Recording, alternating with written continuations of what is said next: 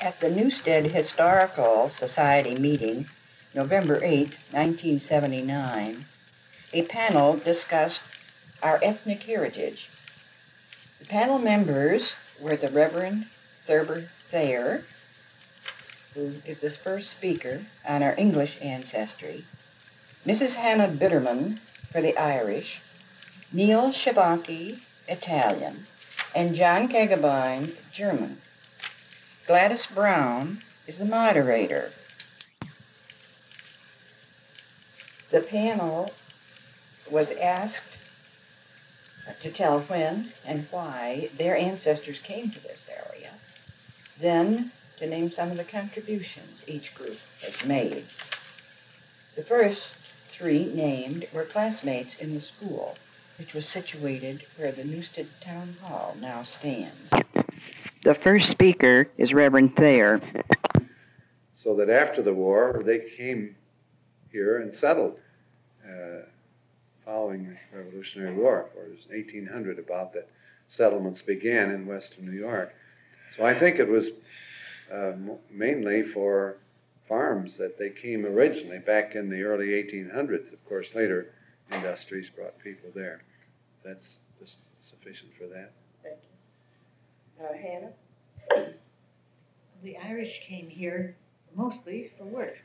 They were looking for a place to work. To uh, they needed a job, and they came. Most of them came directly from Ireland. Um, I know my own grandparents came directly to New York and came from New York to Batavia. They not only them, but uh, their brother, brother, my grandmother's brother, two brothers came to this area. They, uh, there were some farmers. The girls that came, a number of them came, were mostly house workers, workers in the house and housemaids. And the boys worked in the tunnels and on the railroad when it was being built through here.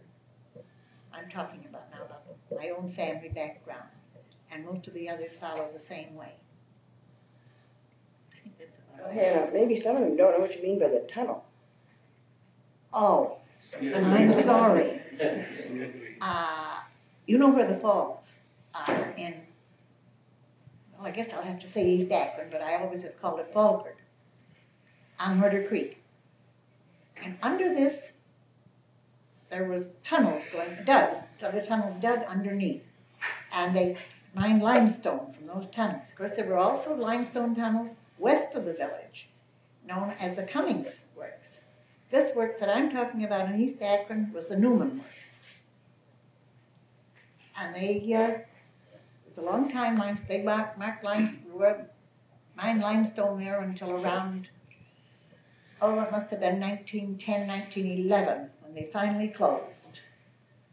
And it was a case of Mr. Newman just losing what he had. I wouldn't say he went bankrupt, but he lost his property. And we, uh, what happened?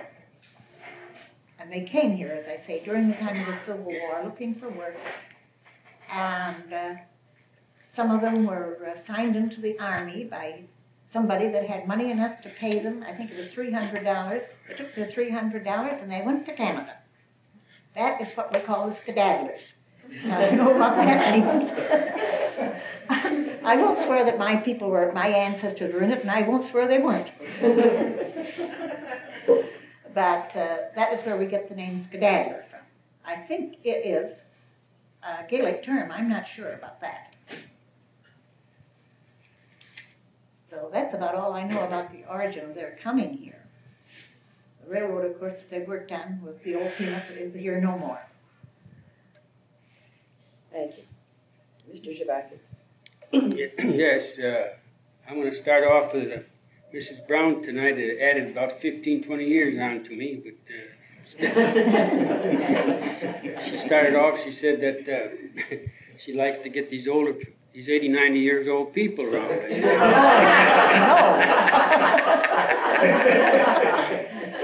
I, think I should. Well, I don't. I don't resent it, but I hope I get there. I, you know how people misread what you say. Uh, I, I asked if I might tape them. If they objected to being taped, I said I have an oral history uh, program going where I like to tape the people in the 80s and 90s.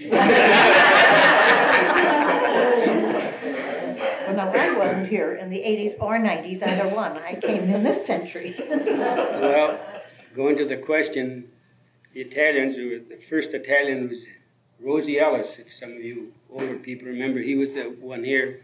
But my, my folks came here from the mines of Pennsylvania. They were coal miners. And the reason that they came here was that uh, there was gypsum mines developed. If you go back your history, your gyp, gypsum mines was developed at that time. And uh, there was a mining engineer by the name of Stuart Sill, who was in Scranton, Pennsylvania. That's where I was born.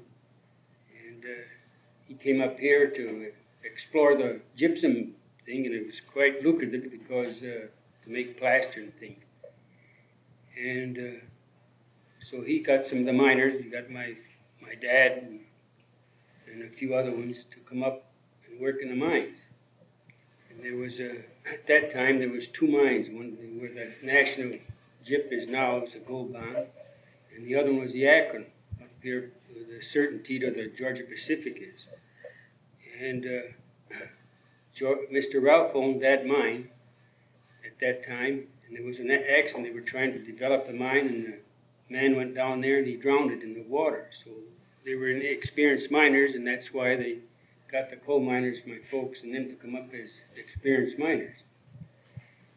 And uh, there was th- three families, Casares, the Caporellis, and the Cavachis that came up. And I know that uh, where we first lived was this side of the Blue End. There was a farming house there. And I can still remember my, my mother, she, came from the mining town of Scranton, which was there, and we out in the wilderness, it was the only farmland, uh, farmhouse there. And uh, then they had her scared that there were Indians there. She didn't get out of the house for weeks because she was so scared. And uh, from from there, they developed the mines, and uh, that's how originally are Italian. But uh, there was Italians up at the quarry. That's the cement works up in Akron Quarry. There was a, they were there ahead of us. There was the Deguano, the Capios, and the Carlos. And Rosie Ellis was the other Italian that was one of the first that was here. And uh, from the mines, we went up and we accomplished a few things if you want to go up later. John? My ancestors didn't come to this part of the country. Three of them, at least, uh, were my, my grandfathers and grandmothers were born in Mecklenburg, Germany. Came to the Akron area about 1870. My grandfather Tesno was born in East Oakfield. Uh, one thing happened when, uh, uh, let's see now, my grandmother Tesno was a Kratz, and when her father and mother, she was 10 years old, came, uh, they shipped them to Akron, Ohio by mistake, and uh, they were good-hearted back in them days, so my Aunt Esther Wren tells me, and uh, they, the railroad, because they made the mistake, sent them back to Akron, New York, where they belonged, and they first lived, uh, well, a few people here will remember what we used to call the cider mill on East Avenue. The Free Methodist parsonage is there now. And there's another house behind it where Bob Klein lives, and that was part of the cement works, and there was a row of houses there, and that's where Henry Kratz first lived. My mother was born on Valley Farm, where my great grandfather lived, is the farm where Don Bruning lives now, down on the Tesno Road.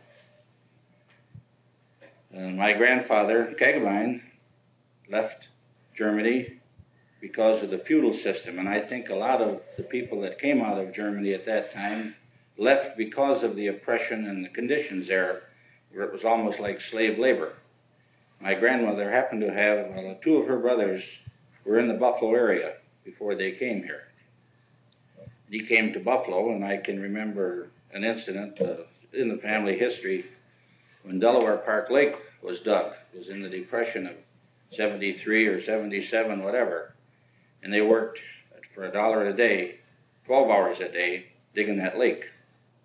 And he, uh, what is now Northampton Street, he helped build that street in the city of Buffalo. He worked for the Dold Packing Company, which is now non-existent. It became high grade when Jake Dold had four people working for him, and they killed and did everything by hand, and he peddled his meat by hand with a hand wagon.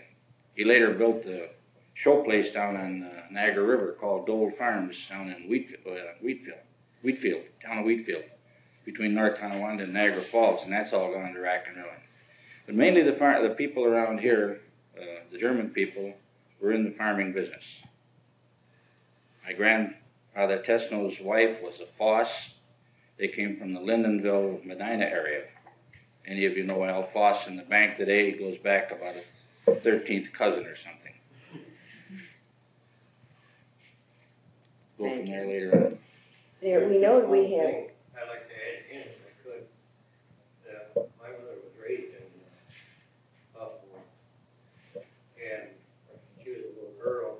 uh, William Jefferson wasn't like it is today. No? And, uh, where J.P. Dold was, when you spoke of, that was the city line of Buffalo. Right. In that area. Well, the whole east side was the German section. My grandparents lived on Herman Street and on Fox Street. Well, all of Buffalo was divided in, its colony like. Mhm. And, uh, but now we have the integration, they're gonna mix Buffalo. uh, we know there are many other national groups who have come to Newstead, uh, particularly Polish and Yugoslavian, and lesser numbers, of course, of many others. I was not able to get a, a speaker on uh, the Polish. I thought I had someone, and um, then there was a conflict of dates. But I did talk to some, and particularly to Michael Zola, and he said that in um, around 1910 and 11, there was conscription in Poland. And many young men, just under 18, came to this country at that time to avoid military service. And they came, of course, also to better themselves. And most of them worked first perhaps on the railroad and later in a factory in order to get money to buy a farm. You know, many of them wanted to be farmers. We have many Polish farmers, I believe, today in our, in our area. And this is what many of them wanted to do. They really didn't like the city, but they were forced to live there sometimes in order to have work. And I talked to uh, to Catherine Swain, Catherine Rebovich Swain. Uh, you, most of you probably know the Rebovich family. Her father came here when he was 17, his wife was 18. And in, later, his wife died, leaving three children. Um, he wrote back to his, to his relatives in Yugoslavia, and this was the Croatia part of Yugoslavia, saying he needed a wife. So they picked out a girl for him and sent her over, and that was Catherine's mother, the second wife. They had um, eight more children, so there were 11 in all. They lived, they lived on Cummings Road when I knew them, but when they first came, they lived in so called company houses associated with the Cummings Cement Works. Now, if you know where Leisurewood is today, there were two homes in the woods on the upper level that belonged to the two Cummings brothers who owned the cement works. And there were a lot of company houses down at the level of that stone crusher, which you can still see parts of it standing back in the field when you go up Cummings Road, it's off to the right, uh, below where the viaduct used to be. You know what I'm talking about? The houses were between the Peanut Railroad track and the ledge. Yes, There was a- down at there was that a- There was a level. store there that was run by Nick Burr, and there was twelve houses. And I know that Henry Hart grew up there, and so did Wesley Scott. A lot of you know those two people. I mean, they have died, but uh, one time uh, Henry took uh, Kelsey and me, and I think somebody else, all through that area and explained where everything was. We found the cellars of the old homes and, and explained where the houses had been and what went on there. So we have other uh, Yugoslavians in town. She mentioned uh, uh, Kapans. Um? Of course, there were Skosiks. They were related to Reboviches and lived in Cummings Road. And the Kosses, you know, Austrians, uh, well, Yugoslavian. Oh, Austrian. They are. Kapans are Austrian. They are. Well, now Katie seemed to, well, okay, that's all, that's what she told me. So we'll, and, Ka- and Katie That's what the the. Uh, panel's for, to dissent. Right, yeah, Mrs. Toss was a Yugoslavia. Yes. Because I Mr. out Koss was her Austrian.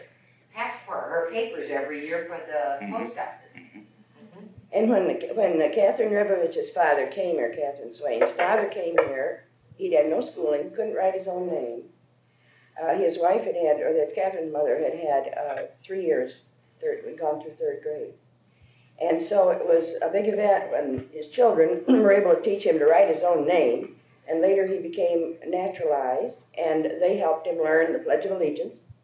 And she said it was the proudest day of his life when he got his naturalization papers and became a citizen. So I thought that was rather interesting. She told me a lot more. She had she was in Yugoslavia uh, about a year ago and uh, was able to find some of her relatives there. She had very exciting. Well, now we're interested in what contributions uh, these various um, groups have made and any interesting anecdotes you know about them as a group. Uh, contributions that they made. We have some very good ones and some that aren't so good, as all the others do. Uh, they were good workers, very good workers. The Irish, they were witty and they were daring, which might be a little surprise, but they were. Now, the contributions that they did, I remember when, as a child, I met Mr. Charles Heist, if any of you know who he is. He was a um, super, district superintendent of schools. And he was telling me that when he was young, they used to have institutes, which was nothing more or less than teachers' meetings. And he wanted to, like to go to the teachers' meetings, not for information that he got, but to see the marvel of northeastern Erie County two red-headed Irish schoolteachers. One of those schoolteachers was a lady known as Hannah Mahoney, and the other was my mother's sister, Nellie Tenney. And they were the marvels, two red-headed Irish schoolteachers. Now they are not the only Irish schoolteachers. That other one was another one was Nell Hurley, and there was also a um, Emma Park and Emma Parks. Somehow Emma never people didn't consider Emma Irish, but she was Irish. And she was an excellent teacher. I went to school to her and she could pound something into my head. She was good. Uh, the Hurleyhees, one of the boys, uh, John Hurley, turned out to be a doctor, and he was also very good. And the daughter or the son of one of the other one of the Hurley boys was here. Maybe many of you might remember him, Dr. Darden. He was second generation Irish. Dr. John Hurley, or he was third generation Irish. Dr. John Hurley was second. No, Dr. John was first. I was right the first time.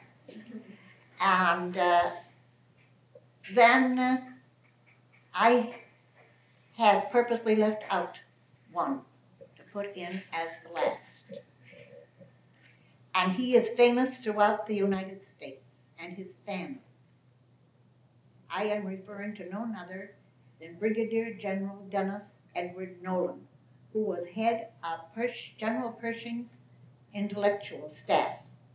You don't hear a great deal about him because he led the spy system, and he certainly did one crackerjack of a job. Uh, he was uh, he had two brothers, both of whom were in the army. One died, got as far as base hospital in France and died afloat. He was very good. You remember Irma Eckerson? Irma was his girlfriend, and she he was her only boyfriend. Marty Nolan died. That was the end of her romance and uh, they tell some funny stories about some of those. Many of you know Betty Jumper. She is second generation Irish. And her mother and Mrs. Nolan, Dennis Nolan's mother, were, or her grandmother, and Mrs. Nolan's, Dennis Nolan's mother were sisters. So Betty is some cousin of Dennis. I'm not going to try to tell you what he is, what she was. But uh, if I did, I'd tell it wrong. Thurber could correct me. uh, they tell us stories about some of these people. And uh, one of them was Sailor Brown. You've heard of Sailor Brown? So far as I know, he never was on a ship and never was on the ocean. His sailing experience, if you know where the Fireside Inn is now, back of that there used to be a mill race. Creek, branch of the creek that was dug out, and then water went down under the road and through, uh, I don't know what you call it, something about that square, maybe a little more so. And out right by the falls to run a mill wheel, which they had at the time. Well, for some reason or other, this sailor, whose real name was Martin, fell in. And he went down the mill race. And he was, until the day he died, he was a sailor known. when I heard of him, I thought, gee, he must have been the first Irishman to be belong to the Navy. He never belonged to the Navy. and the other one is a story they tell about General Nolan. He was a young man, and in those days, practically everyone in what was then known as Falkirk, and to me it still is Falkirk, they told uh, that Mrs. Nolan was sick. She was the only one in the family that could milk the family cow, and they needed the milk. So Dennis was rather resourceful, put on his mother's dress, his mother's sunbonnet, and she always hummed an Irish tune. I never knew what the tune was. If I did, I couldn't hum it for you anyway. And he walked out with the milk pail swinging, much like his mother, um, went out, and by golly, he milked the cow. Just as long as Mrs. Nolan was sick, he milked. Which we always, I always got a big kick out of hearing about that. Um, contributions, they, uh, of course, the very fact that Denny Nolan was a great man in the Army, and he not only was Pershing's head of staff, but he took part in many conferences after the war. I tried to get a hold of them, but as usual, when I need the car, the car is like a kid, it's stubborn. I didn't get a car. And, uh, but they, uh, of course, I am very proud of the fact I myself am second generation Irish. And by the way, we hear about the Kennedys, second generation Irish. They did this and they did that. They are a nice family. I'm not criticizing. but remember, Dennis Nolan was first generation don't think a Kennedy alive ever did any more than he did. They may have been president, but they never did any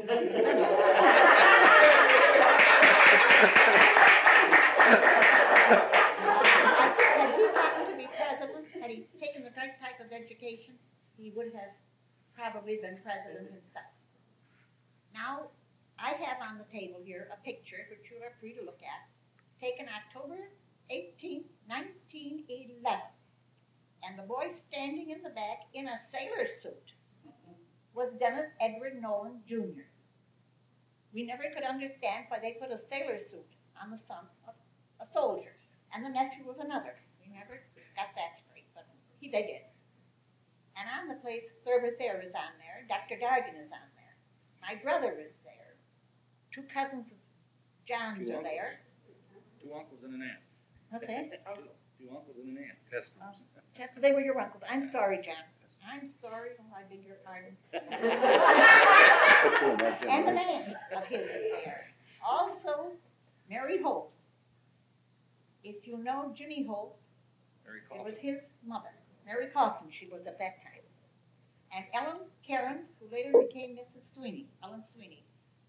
And Loretta McNiff is the tall girl standing there. Now, if you can pick them out, and I am, of course, I'm there. I wouldn't have the picture if I wasn't. But it isn't mine anyway, it's Thurber's. And then here is another picture which Thurber brought to me, gave me, loaned me, in which the three Nolan boys are. And if I'm not mistaken, one of, or I know one of the boys on the haystack is Joe Darden, who later became doctor, and the other one is Dennis Edward Nolan Jr. Now, what became of Dennis? He died in less than two months after this picture. He died of pneumonia. He had a baby sister who lived, grew up, and got married. I don't know what her name is now. But uh, she was a very, people that knew her were very proud of her and spoke very highly of her. And on this picture also are the three grown Nolans that are all gone now. I think everybody on the picture is gone, and most, the surprise, most of these people are gone. But uh, I don't know, is there anything else you wanted to ask me about? Of course, one of the characteristics of the Irish, they sure knew how to swallow. I'm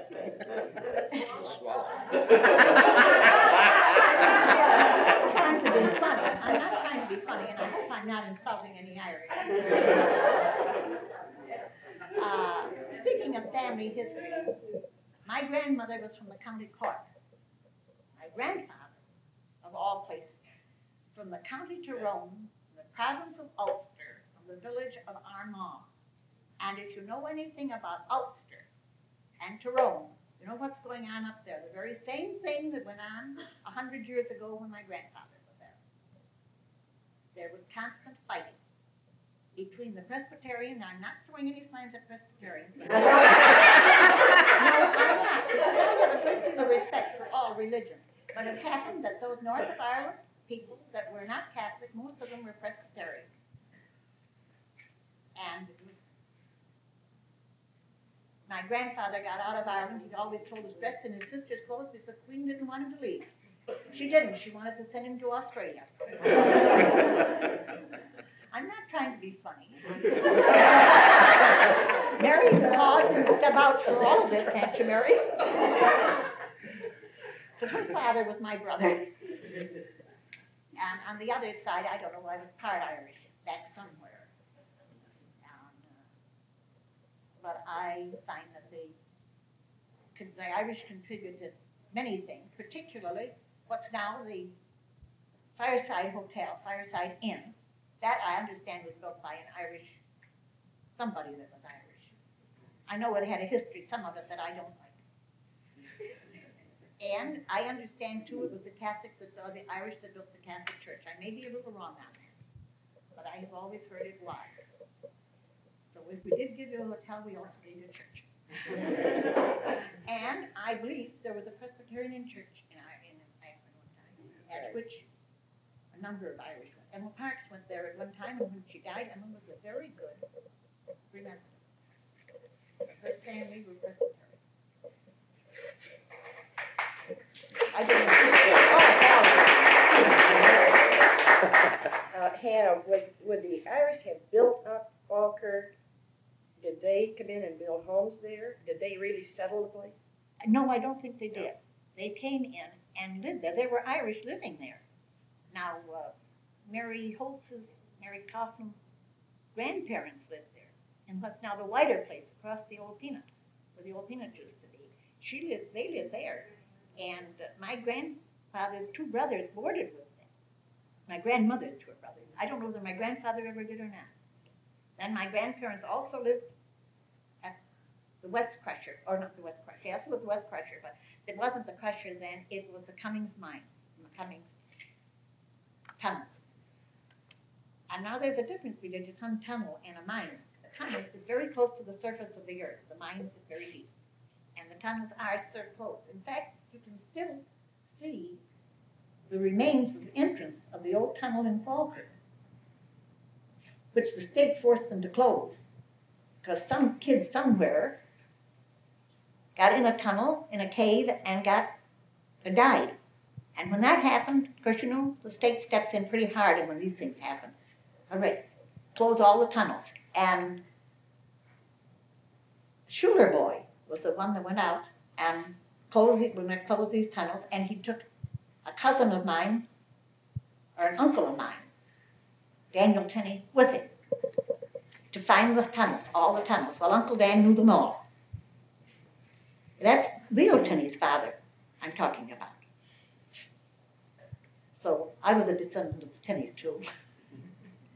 But it was definitely an Irish settlement It at one time, definitely right? There A were lot of some- Irish people there. They sort of clustered in Falkirk, pretty Well, there much. were some Scotch here. There were a few German, a couple of German families. But in general, I mean, many In of the Irish who general, came was lived there Irish. at that end of the. now the Car- Cairnses, the um, Eddie, Edie, this is Edie. I, Mr. Edie, I understand was English. Oh, Mr. Edie. And of course, there was the Connorses that run the hotel, horrors of horrors. And they, uh, no, the Montgomerys were English. I'm wondering, do y'all know what you mean by Falkirk? And the Browns. Anybody who doesn't know? I wondered about that. Falkirk, it is up in the area around the Fireside Inn. You know where that is? You know where the mini mart is? The mini mart, the mini mart, in fact, Swanson is Oil? where there was one time an old firehouse. We had three fire companies, mostly Irish up in that end, And believe me, they could celebrate. They, uh, it was really, uh, Cement City Host. and the parking lot that they have for the mini mart and the garage was at one time a gristmill. Of course, that's getting away from the Irish, but the Irish worked there. And the Irish worked in the gyps, in the cement mills, which was right there too. The Newman Cement. Well, thank you very much, Anna. Was We that? may have, thank you. We may have some more, some questions for you. Uh, I hope not too Neil, many. I'll call you Neil. Would you like to? Aaron go Brown. Now, do you know what I said? I've got to tell this story about Ann. I went to school with her brother, George. Oh, good heavens. And we were, and we were in a chapel. There were, there was three grades in this chapel. And uh, our teacher asked some of the students what they'd like to be. And if they want to be lawyers, doctors, or anything. And George got up says, no, he says, I want to be a ditch digger up in the tunnels. And Hannah was in the two grades ahead of her. She got up, and you ought to heard her spout at her brother right in the chapel. Did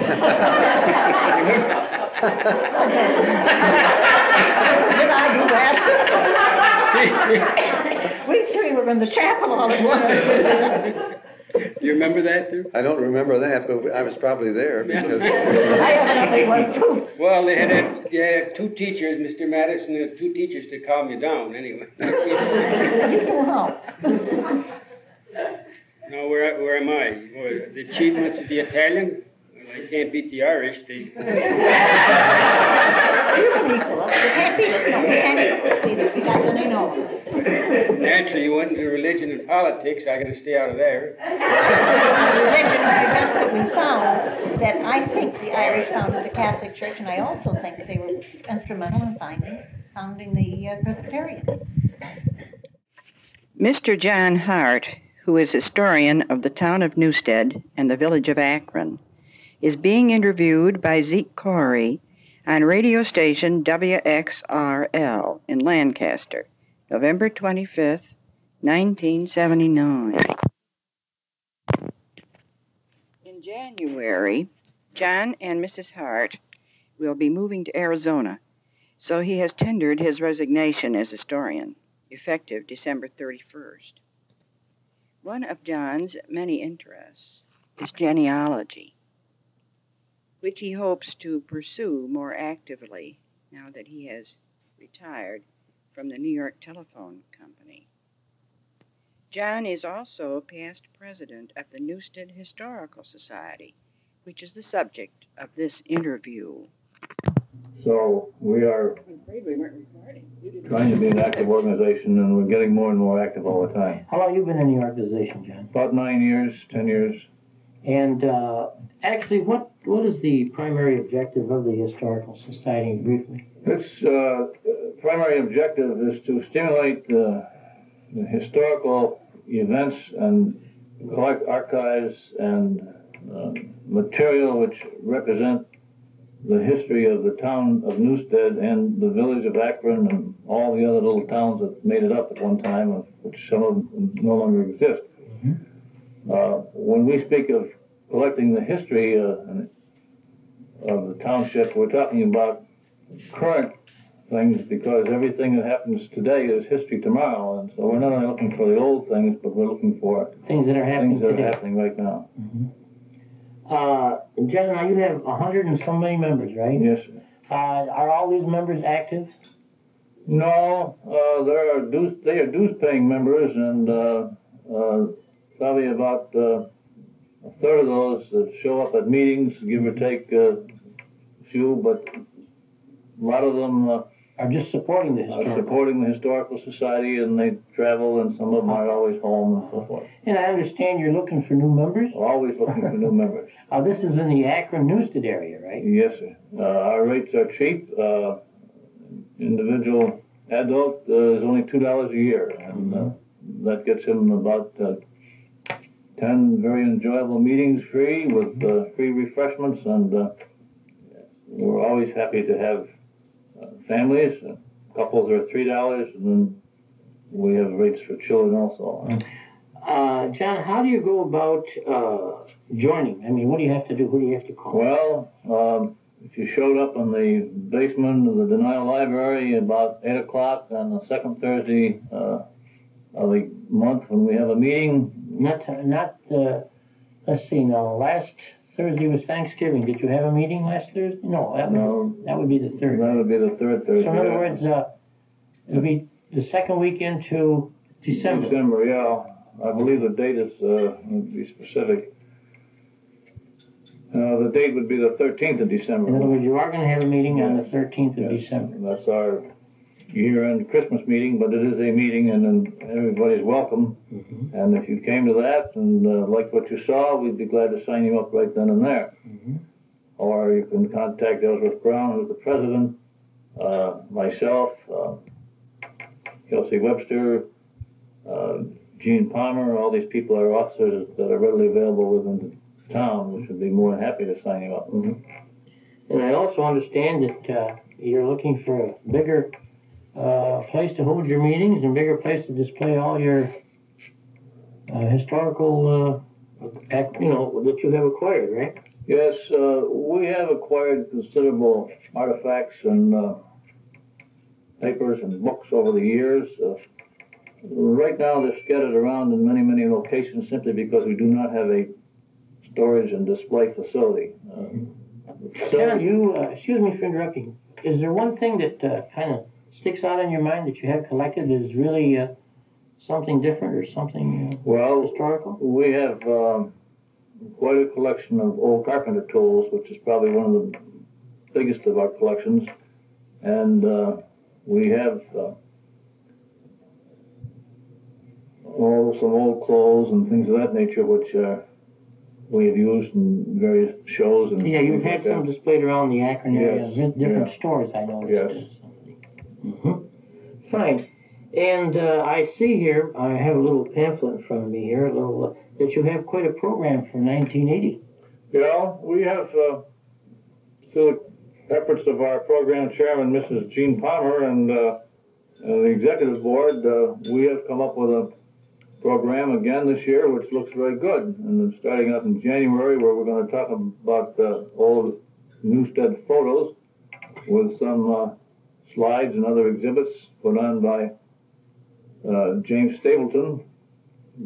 Going into February, we're talking about historic buttons, and uh, we have a button collection there, and, and that will be uh, exhibited. And if you anybody in any of these programs who comes and has something which they would like to show or have somebody talk about or maybe identify, uh, they're always welcome to bring in their own particular things like Okay, this is Lancaster Speaks, and this is Armin Corey. And uh, this morning we're talking to Mr. John Hart, and he's from the Akron Newstead Historical Society. And John, sorry to interrupt you, but I know you said now in January you have the old photos, right, and in February you had the buttons, right? right. And how about March? Well, we're going into, we're looking at herbs and medicinal plants. Akron, we're gonna, I mean, uh, in April, we're gonna visit the Clarence Historical Society and their museum. In May, we're going to look at wool and the wool merchant and how they use it in garments and with, with some displays and films. In June, we're gonna tour some of the old landmarks and old homesteads in Newstead. We will have an antique exhibit and craft show on the Fourth of July weekend in the Newstead Town Hall. Mm-hmm. And then we have our annual picnic and auction in August. We plan a dinner in September to kick off the fall program. Next October, we're going to be looking at the old schools and the school histories from the township. And then something kind of tied around Veterans Day of November of 1980. We'll talk about Akron and its participation in the various wars.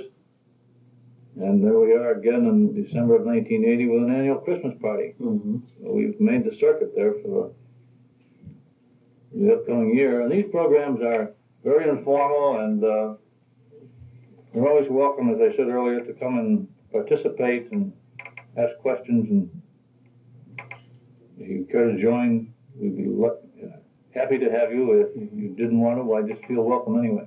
Now, we were talking before about any of our listeners in the Akron Newstead area have any, uh, should we say, antique or historical uh, items. Uh, can they bring them up and leave them there uh, for your? Yes. How, uh, how does that work? Do they leave them there with you, or do they Well- donate them? They uh, leave them with me. Um, as a town historian, I receive some things which ultimately wind up with the Historical Society.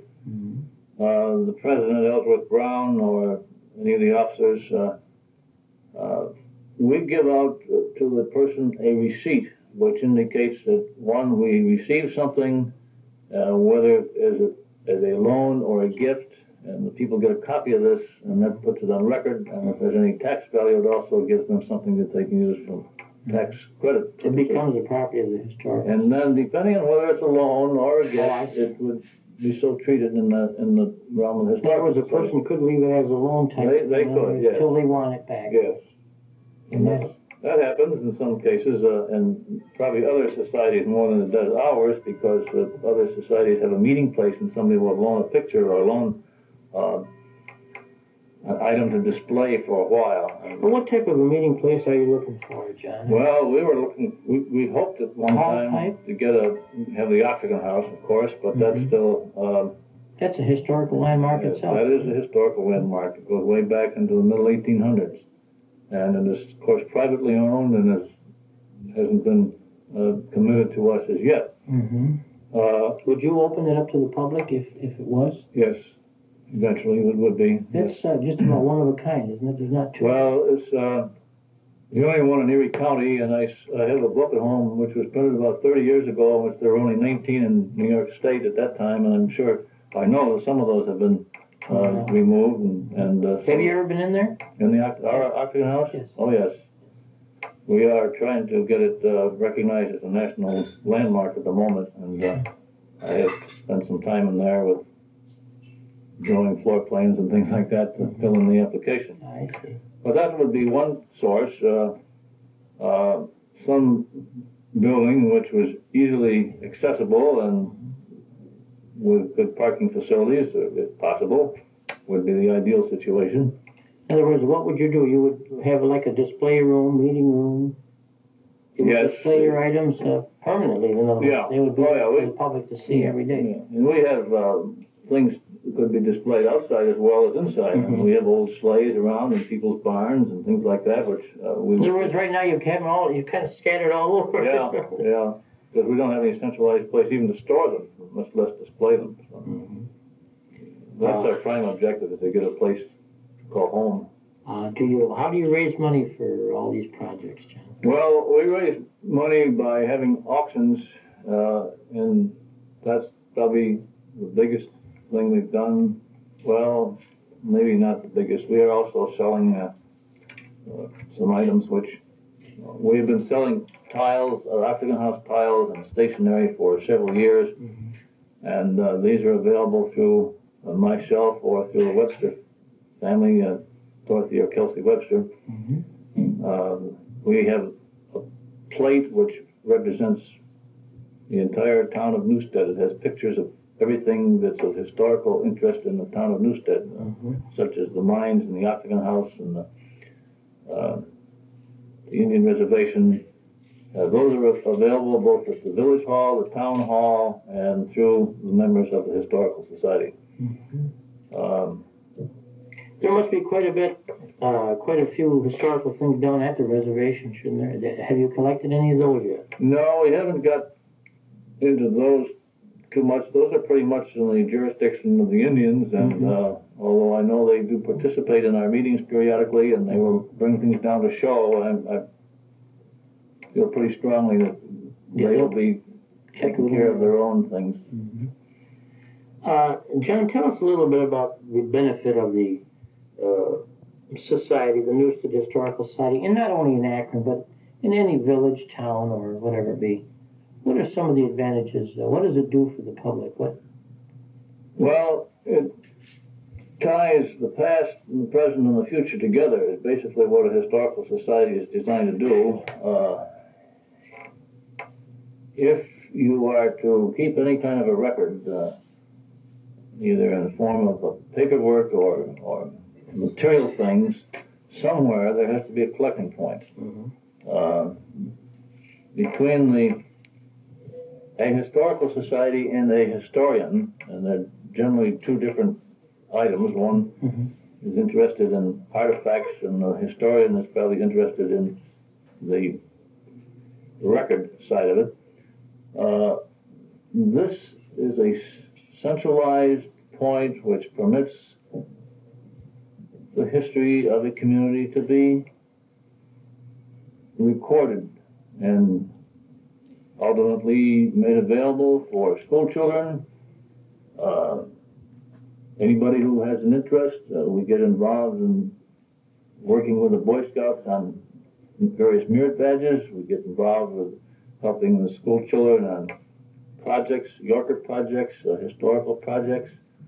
Uh, I even have people who write in the newspaper come out and want to know something about uh, segment of the community, which and they came out to see what we had in the historical society's files on it. And it's a collecting point, and if you lose it, you lose it because uh, uh, so much of the stuff can't be replaced. And uh, when people were more permanently located, by that what I mean, people's families stayed in an area for generations the artifacts and the information stayed in an area for generations. But with the mobile society, which we are part of today, uh, people move, and And you might lose it. you lose it. Or the, the, the youngsters have moved and they come back home and help clean up Grandpa's estate, and they say, "Well, this is this- rubbish. Let's throw it out." So we are anxious to collect that. Let us throw it out if it's not usable, but. This is Armin Corey. This is Lancaster Speaks. Today we're talking to Mr. John Hart Jr., and uh, he is from the Newstead Historical Society in Akron, Newstead area. Uh, we're just talking about let us throw things or let us decide what are. A lot of people do not realize, uh, probably not the value of an item, right? It doesn't have to be uh, money wise either, does it? That's correct. sometimes the historical, again, we're back to the historical value uh, of an item, which might be a lot to you, but not much to some other people. So actually, uh, you would advise people before throwing something in that area older away, they should call the Historical Society. Yes, and we'll, we'll have somebody pick it up if possible, even if it's old newspapers or old letters or anything, or something large, of course, would be fine, but, uh, we've been fortunate that in certain periods of time, people have saved things over the years, and then there are gaps where we, uh, have been that fortunate. Our pitch at the moment is to try to keep this flow of material coming, because in the future, it will be history. Old newspapers is quite, uh, are- you're looking for those, right? Yes, uh, we have a pretty good, uh, Collection? collection of newspapers from the early eighteen hundreds to nineteen hundred, and from nineteen twenty-seven to now.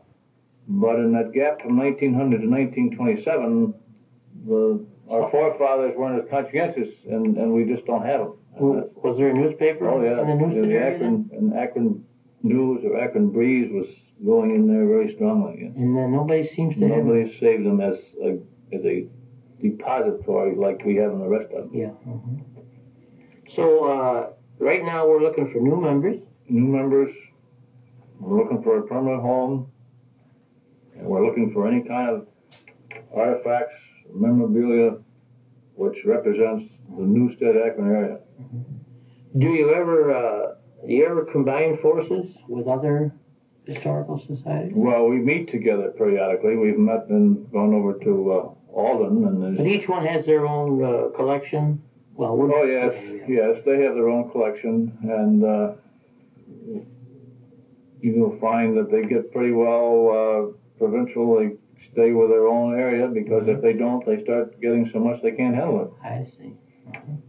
Uh, now, you still, like you say, there's a lot of things that you are looking, any particular items that you are looking for that uh, some of our listeners might have around the Akron Newstead area? Is there anything in particular?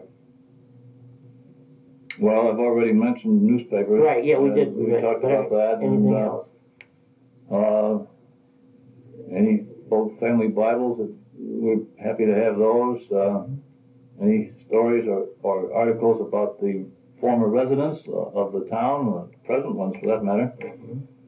Um, You, uh, do you get into anything. the family tree? well, Uh, I get it from the historian point of view. I get into that a lot. Yes, I'm constantly answering letters for people who write to us from around the country about uh, tell me something about Aunt so, Grace who, Yeah. who lived here or lived there in such and such a period of time because I have a letter that somebody wrote to her there and I have been building up a family history record and kind of a family tree. you know and I'm doing that on all the names and places I can get in the Newstead area. Now, uh, of course, you were talking about the newspaper before between 19 and 1927. Now, that you're looking for too? Yes. That would be what, the Akron Breeze? It's the Akron Breeze and somewhere along the line there it changed to the Akron Herald. I'm not sure exactly Mhm, yes. when, but in that Well, it was the Akron News too. Yes, at one time, yeah. and then the Akron Herald. It's been a name or two. In fact, at one time there, around the turn of the century, there was two newspapers in town. One of them didn't last very long, and the name escapes me at the moment, but I, I remember seeing that. And books, you're also collecting? Uh, books, particularly if they con, uh, concerning the Newstead area, uh, we're not looking for old history books per se, just No. but books or documents or Yeah, it's got to diaries. concern or, the Akron Newstead area, Yeah, that's what you're yeah, mainly. diaries, things Uh, of that nature. uh-huh, how, and photos, you have? Oh, we, we can always welcome photos. We have some, uh, we're starting to log them in and get them cat- categorized so they'll be indexed. Um, always interested in photos, old costumes, uh, Clothing. clothing. Now, Uh, You say costume, you mean, you're talking the older dresses, maybe in the nineteen, early nineteen hundreds? yes, or uniforms of people that, uh, you know, they might have worn in the service or, uh, firemen's uniforms or things of that nature. Maybe not called costumes, but that's the type of thing we look for. Mhm. Well, John, we've got a few more minutes left here. I think uh, what we should do is maybe uh, review these programs once more for our listeners, and maybe if they'd like to get a pencil and paper and jot down any particular one that they would like to attend, it would kind of be uh, interesting to have the date right in front of them. All right. Uh, on January ninth, or January tenth, uh, will be the first one of the new year, and Mhm. it's an old Newstead and photos. Mm-hmm. Uh, will they be showing photos there? Yes, Jimmy, Right. Jimmy Stapleton, who, uh, is a very good photographer and has been in the local historian field for some time, uh, is going to present some photos and slides and some exhibits of the good old days in Newstead, and Mhm. we welcome you to bring your photos along to share. And another thing which I'd like to point out in that field, uh, if you were able to come and help us identify some of the people in these old photos, I it would just- be a great asset to us. I was just going to mention that. I was going to say you probably need somebody to help you identify some of the people in some of the Yeah. photos, right? if people would only learn to put the names of the That's right. on the back of the photos they have, and then Yeah. it'll be easier for the rest of us some other time.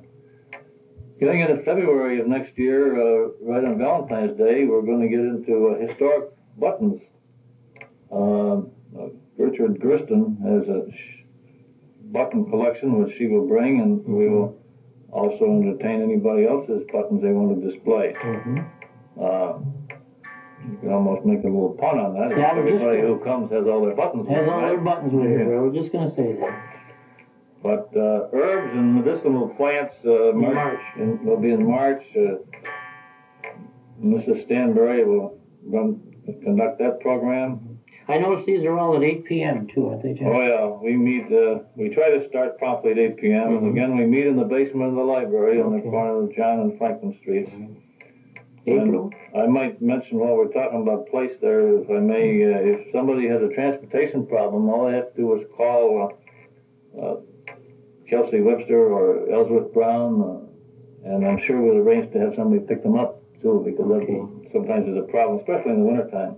All right, let's run through these quickly. April, uh, we're gonna visit the Clarence Historical Society's museum, in May, the a wool merchant, where we're gonna discuss wool Mhm. fabric. Uh, tour of Newstead in June, the Fourth of July weekend will be the antique show, crafts and hobby show.